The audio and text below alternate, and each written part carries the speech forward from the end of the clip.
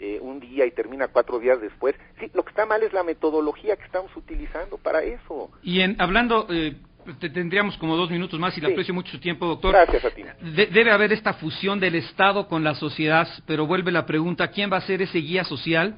Y yo también me quisiera referir en estos dos minutitos que quedan a lo que dice ayer el señor presidente de la República al conmemorar el 99 aniversario de la Revolución Mexicana. Dice, México requiere cambios tan profundos como una revolución, pero de manera pacífica, cambiando lo que haya que cambiar con todo lo que ello implique. Pues yo coincido y habría que empezar por reconocer que en este país hay voces disímbolas. Habemos voces que tenemos puntos de vista que no siempre coinciden eh, y que esto no significa necesariamente que se está enarbolando una vía violenta o que se quiere violentar el Estado de Derecho.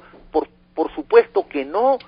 Lo que se quiere y lo que se demanda es que en una sociedad plural como la nuestra sean eh, las voces eh, distintas las que puedan ir encontrando su resonancia en los diversos espacios de toma de decisiones. Y porque si pasamos del dedazo a la repartición de cuotas, pues yo no creo que hayamos avanzado mucho.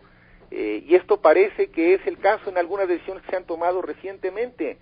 No, Oscar Mario, veamos el problema con mayor objetividad y reconozcamos que no estamos encontrando hasta ahora las mejores vías para la solución de muchos de estos problemas. En fin, no es algo que pueda resolverse fácil, pero tampoco lo encuentro inalcanzable. Creo que va a depender en buena medida de todos nosotros y yo te aprecio mucho que te haya interesado este artículo eh, y mis eh, eh, reflexiones que pretenden ser contribuciones modestas a elevar el nivel de debate y a generar propuestas que verdaderamente nos puedan ayudar a, a, ir construyendo mejores caminos. Doctor Juan Ramón de la Fuente, le enviamos un saludo muy cordial y gracias por su tiempo. Gracias, Oscar Mario Polo, y a todo el auditorio que tengan un buen día.